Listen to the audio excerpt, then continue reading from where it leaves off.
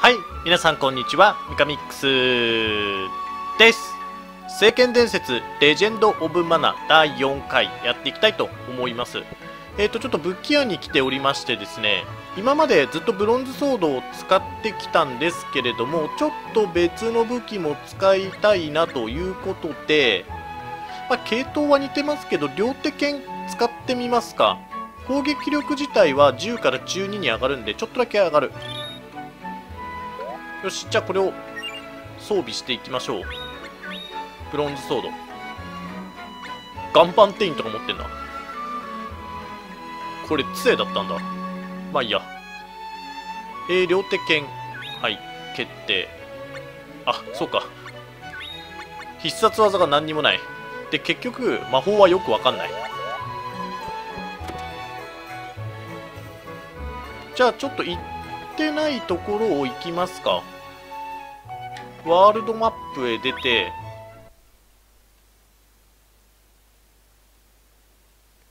そこから、こっち、ミンダス遺跡。家の隣にある遺跡。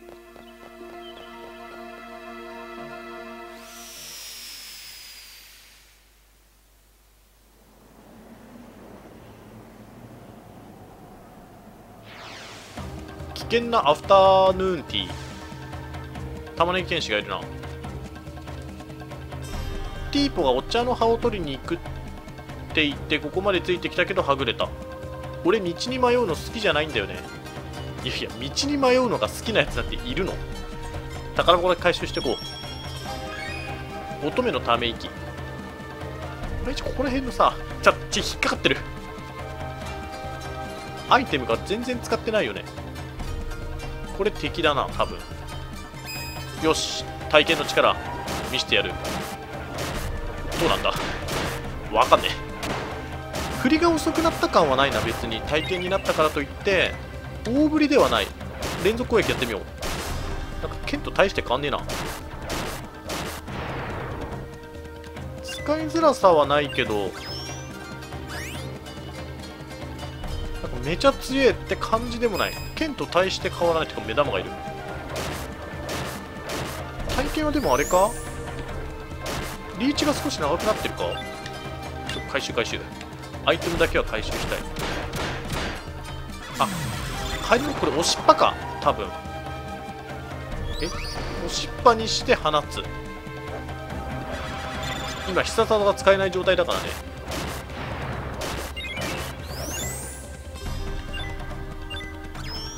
小さな種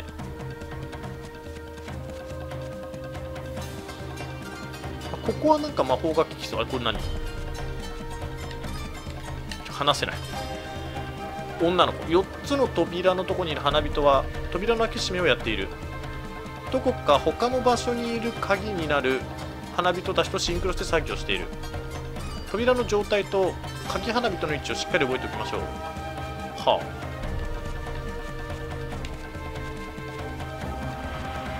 これ下も行けそうだね。上から行ってみるけど。宝箱。コウモリの黒焼き。あこっち行けない？ここは宝箱だけかな。じゃあ下。ん？こいつも敵っぽいな。おおあと食ったかこのまま。圧倒する。例のハメ。最後は決める。小さな種。経験値ゼロっていう時がやっぱり痛いよね。誰か助けて扉が開いたり閉じたりしてよくわからん。なんだシンクロしてます。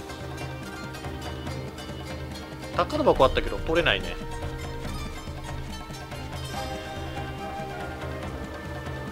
またいる。あ降ってきた。なんだ。我らは鍵です。は？我らは鍵です。あそういうことか。多分ここに今た多分扉が4つあってこことここが閉まってたわけでしょ？ってことはここでもさこれあれじゃね？ここ閉めたら帰れなくなるからさ宝箱取れなくね？一周させればいいのかこいつらを。入り口は開いてる必要ないから閉めよう。上に行ってもらって。行かねえし。横にしか移動しないのかこいつら。あ一周はしないね。一周しなかったわ。えじゃあこれでよくない？とりあえずあいつを助けよう。宝箱の取り方がわかんねえな。ここが閉まっちゃうよね多分。今だってこことここが閉まってるでしょ？でこっち行けるようになった。巨大建造物。来ない来ないまだ来ない。何が？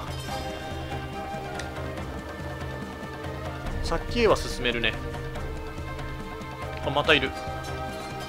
シンクロしてます。こっちとこっちがいけないから。あで鍵。で来たところは正直閉まっちゃっていいんだよな。あれ？ちょっと待って待ってどういうこと？こっちから来なかったっけ？これ開くってことか。先へ進める？ちなみに。先は進めない。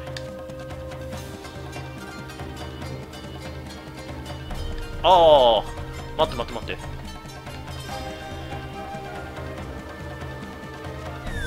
で降ってきてここはだから閉ま閉めていいや。あこれでいいんだ。でこうのこっちも行きたいけどね。まあいいやこっちから行ってみよう。繁栄の後。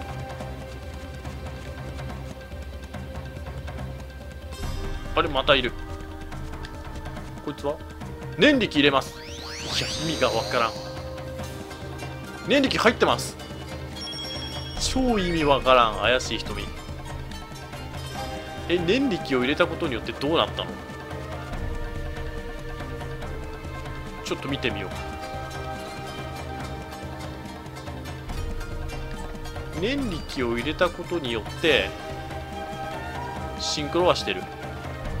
別に入れたことによってシンクロしてるわけじゃないけど。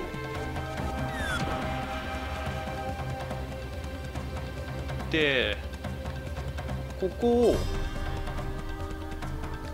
やるか。でこう来てこっちに行ける。あれ？こっから来た？なるほど。こっから来たからこれ下だったんだ。ってことはだからそうだ上を開けなきゃいけないんだ。ちょちょ待って待って上開けたらさここが閉まっちゃうよね。そうださっきの宝箱と同じパターンだ。結局1箇所はいけないっていう。だってここやったらさ開くけどこっちは閉まるよね。こっちは一周しないから。こっちさ下に行ってくれればいいんだよ。ほら下に行かないから。こいつに話せばなんか変わるかな。下に行け。下に行け。行かない。いや無理だじゃあ。まずだってこいつはここにいなきゃダメでしょ？こいつ左にやって帰るか一回。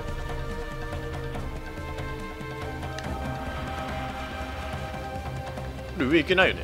行けねえわ。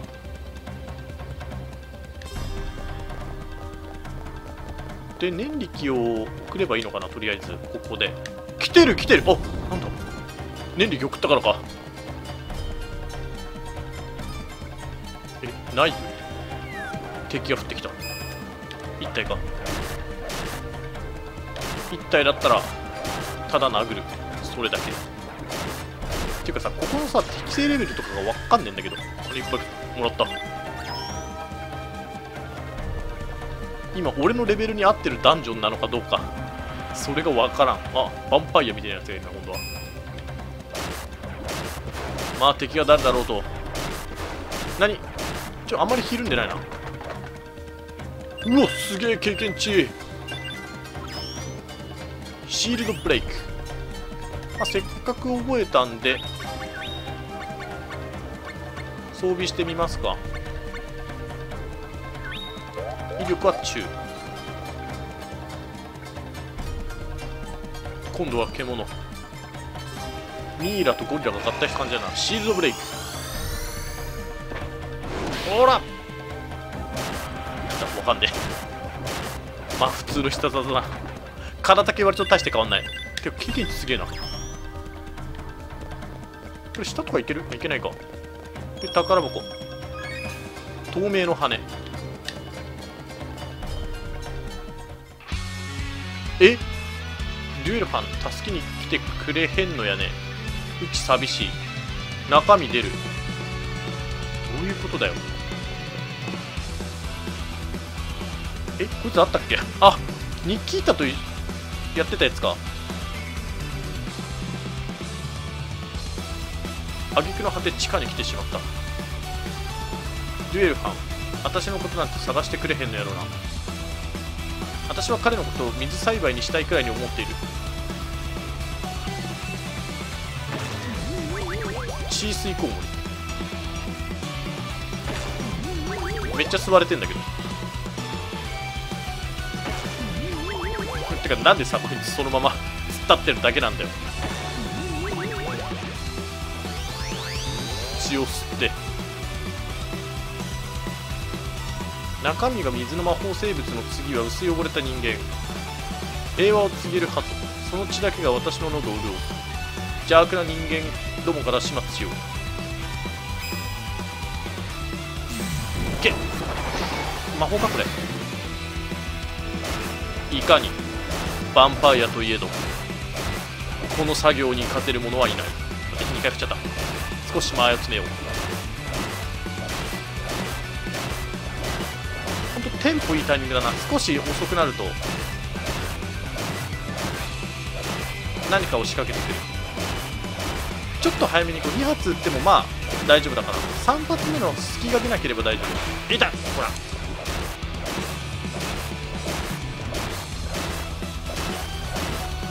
あやっちゃった。で余計なことをしてしまった時にはシールドブレイクを。打つ何？あいつも魔法打ってるから無敵状態か。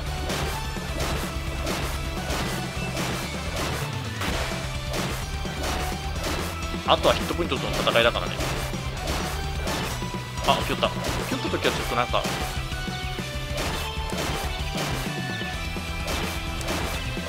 仕掛けていこう。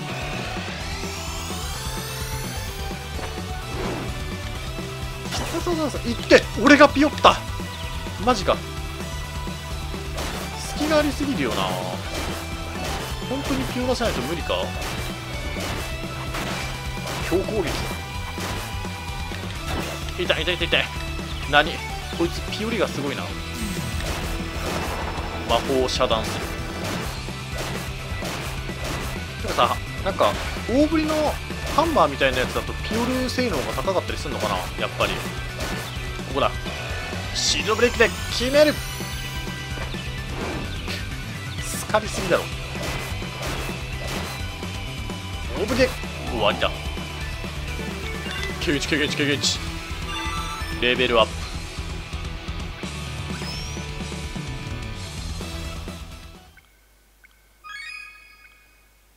詰めの精霊。錆びた怒り。あれ？入り口へ戻ってきた。意外な大冒険だったね。人生には冒険がつきもの。エンジョイできるやつだけが大きくなれる。心寂しかった。帰ってお茶でも飲もうさ。茶飲んでもう忘れよう。こいつ一番最初あれか。一番最初にいた玉ねぎ剣士か。危険なアフターヌーンティー終わり。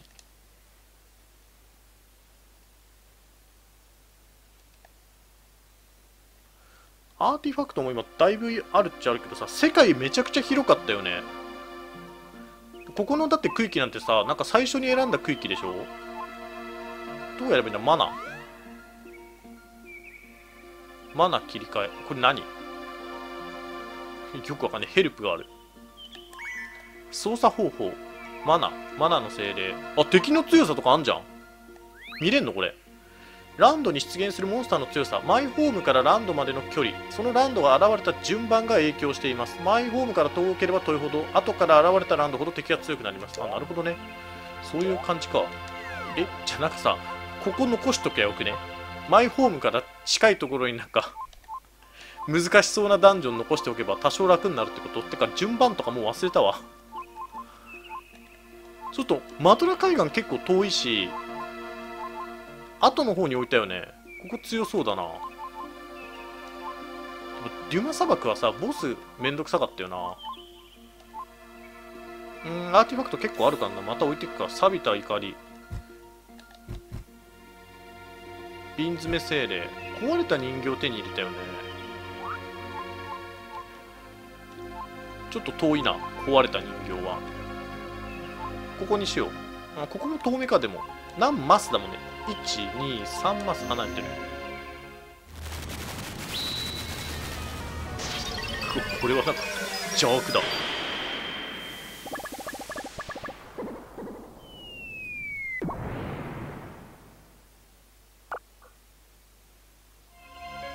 なゴミ山とか。何なんだ。ちょっと海岸に行こう。走ってきてる。アウラ。アウラって新しく出たよね。初めて聞く精霊なんだけど。何の精霊だ？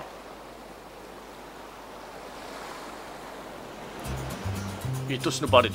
足はお頭を裏切ることはできない。また船に戻る。すまねえバレリ。下っ端の海賊に自由なんかない。海賊に恋をした私がいけなかった。カニあはって。カニでやん。何匹いるかなんてどうかしたらやんすか。いいの。一人で温めるからあなたは船に戻って。温めるって。卵でやんすか。卵産んだでやんすか。砂浜のメモリえなんだ？ええなんだ？カニを殺してんな。一応後を追うかじゃあ。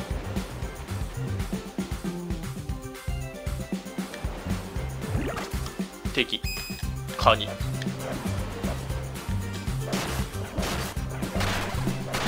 なななんだ？ガードされてるのか？確かに硬い。ランドから離れてるせいか。さっきのとこよりは硬いよね。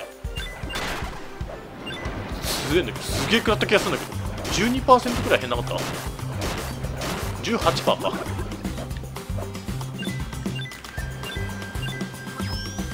おライジングクラッシュ。名前はシールドクラッシュよりは強そう。これさシールドブレイクだった。ショートレンジヒット。ショートレンジの方が使いやすいよね多分。全部技ポイントってさ1ゲージしか使わないのかな？くらえ一応一発。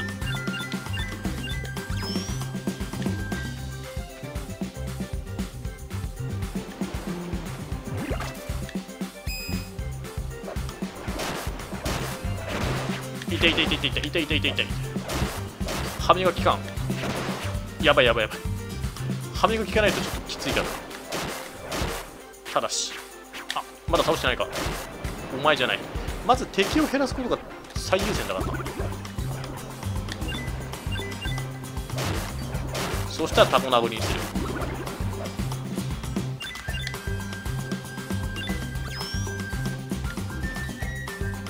洞窟の中だな。え？いっぱいいんだけどな何これ？カニが死んでいくの何なの？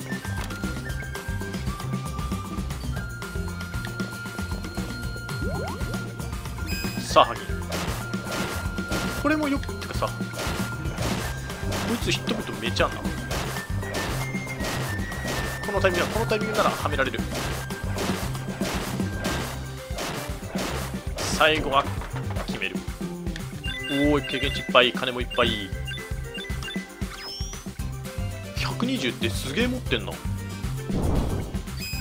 今度はコウモリみたいなやつだ痛い痛い痛い痛い座れる。ゴリオスよし倒した。1匹倒した、まあ、ヒットポイントは前回数かねレベル10だったんです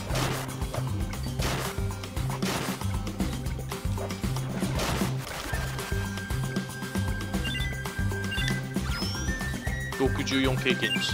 だってあと318か。あと318でいいんだよね。で上かな。剣も体験も別になんかさ使い道があんまり変わんねえんだけど。用途的に。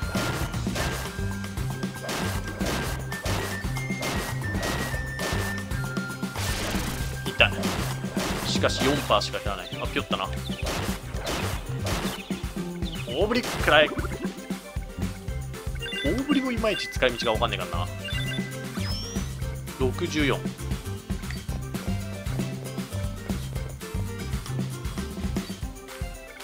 カニこれ右側なんかある？あ右も左もどっちも行けそうだったな。イーストエンドビーチ。チョコボがいる。あカニがいなくなってる。プリンスビーチ。何？挟まるうおあいつはほっとこう。とりあえず。やつが近づく前にこいつを仕留める。道具。やばい一発でビヨった。やばいやばいやばいやばいこのポイミスラフみたいなやつ。意外に強い。侮れん。ハサミ。カニこれなんかつかのこの間合いになったら。いやちょっと近づきすぎじゃん暗い。何これ？マジで。痛い痛い痛い痛い痛い。やらせません。道具。ハサミっぽいな。ピオレ。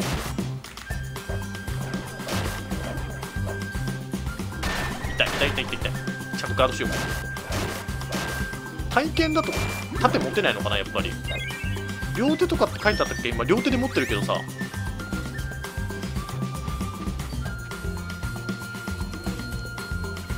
キングスケープ。サメだな今度は。いかにサメといえど。貴様の動きを完封すれば敵ではない。ダメージ出てほしいよね。わかんない。なんかいくら当たってんのか。あと自分のヒットポイントも。強肉。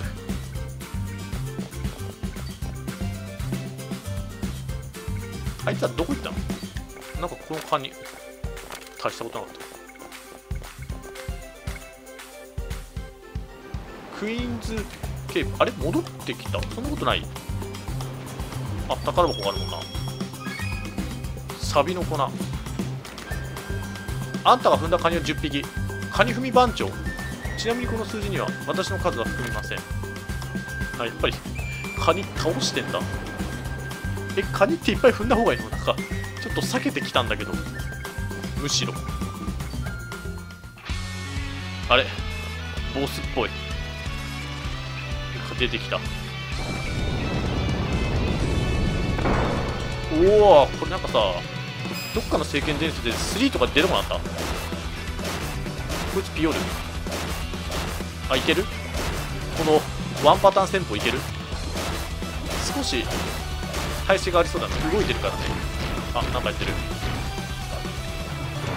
なんか来るぞ。アクアブレスみたいなやつ。ほんとヒットポイント高いよね。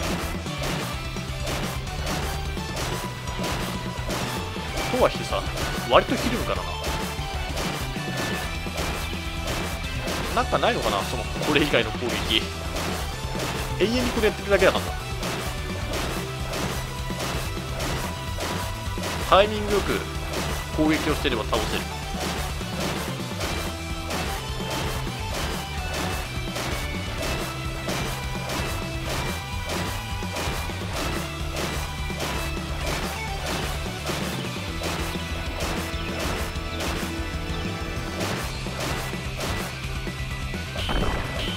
れ？目がなくなった。ちょっと待って。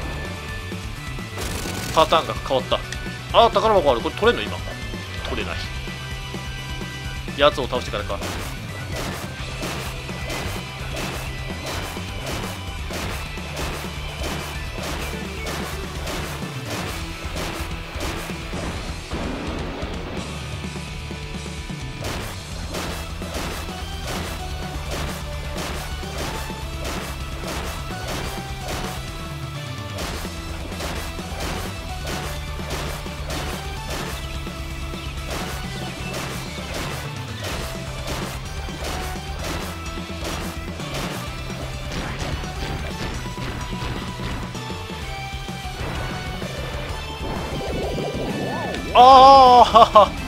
なんてこった？引っかかってしまったか。あ寝てるし。こ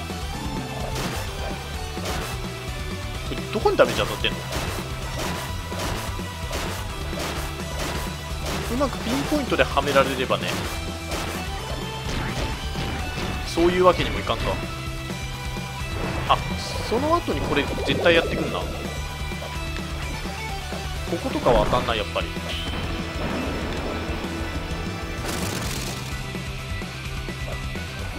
また飛ぶか。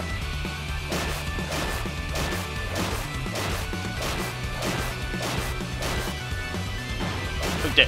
あ痛くない。当たってない。終わりだ。お前も所詮雑魚だ。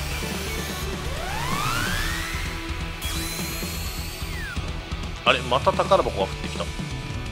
おおこういう感じか。こっちの宝箱が欲しいんだけど。おい バレリー。もう君を離さないでやんす。二人はずっと一緒でやんす。もういいのデビット。辛くなるからやめて。何を言うでやんすか海賊をやめねえ限り二人を一緒になれない。迷うことはね、海賊なんか今すぐやめちまう。船に戻って。足は広い世界が見たいでやんすって毎日のように言っていた。覚えてる？足もガキだった。現実を知らなかった。海の怪物をなぎ倒して宝をたくさん持って帰る。バレリちゃんが海で怪物に襲われないように足が残らず怪物は倒す。さっき卵はどうしたといずれ卵を産んだ時の話をしただけ。笑ってもいいのよ。寄らないで。あなたのこと嫌いになりそうよ。もう言ってちょうだい。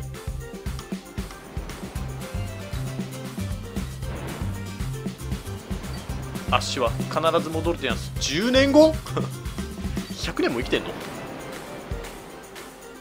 ペンギン100羽を従えた海賊の頭。今日のこの日のことを覚えてやがれてやんす足が戻ってくる日は。世界の海から魔物が一匹もいなくなった日。あばよ。デイビッド。俺はどうすればいいんだ？海賊に追い回される生活なんて耐えられない。卵は私一人だったため二人の幸せのために。つくよみの鏡砂浜のメモリー。なんでカニなんだ。てかあんまりさ俺介入してないよね物語に。さっき最後の宝箱も取ってねえし。まあまた行けってことか。多分まあ1個のところで1個だけってことはないと思うんで。イベントが。あとはまだアーティファクトがあって、ゴミ山ね。ゴミ山次行く。えー、という感じで、てかさ、武器未だにずっとその初期装備系なんだけど、ブロンズ系で、なんか、新しい街ができてるわけじゃないしね、手に入れてもないし、ガトは特になんか売ってたわけじゃないんで、まあちょっとまだこのまま進んでいきますが、とりあえずまだすげえ火力不足っていう感じではないんで、まあ、とりあえず今回はここで終了したいと思います。えー、最後までご視聴ありがとうございました。チャンネル登録、Twitter のフォローしていただければ幸いです。